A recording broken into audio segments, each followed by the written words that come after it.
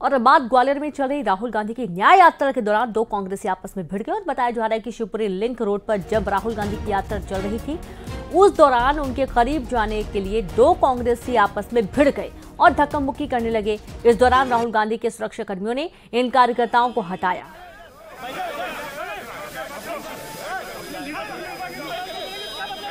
तो देखिए, झड़प के दौरान की जो तस्वीरें हैं जब राहुल गांधी के करीब जाने के लिए दो कांग्रेसी कार्यकर्ता आपस में भिड़ गए, संवाददाता सुशील जुड़ गए। सुशील कार्यकर्ता आपस में भिड़ गए। राहुल गांधी के करीब जाने के लिए ज़ाहिर सी बात है, कांग्रेस पार्टी के अगर कार्यकर्ता हैं तो बहुत आसानी से मिल सकते थे। इतने विवाद की ज़रूरत तो नहीं थी?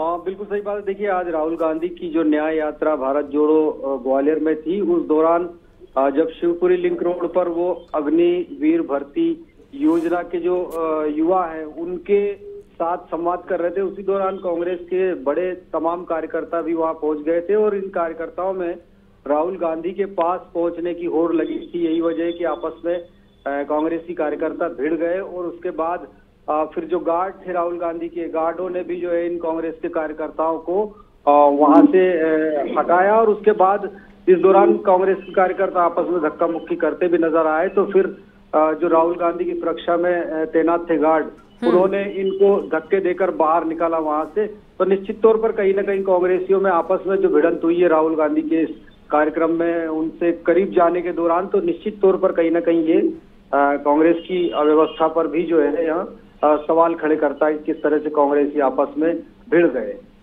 जी बिल्कुल, बहुत शुक्रिया आपका जानकारी के लिए सुशील। तो इस तरीके से देखिए कि कांग्रेसी कार्यकर्ता आपस में भिड़ गए। हालाँकि यहाँ यहाँ पर जो सुरक्षाकर्मी तो उन्होंने तुरंत दोनों को अलग कराया, मामले को शांत कराया गया। काफ़ी हंगामे के आसार बनते हुए न्याय यात्रा के दौरान नज़र आए।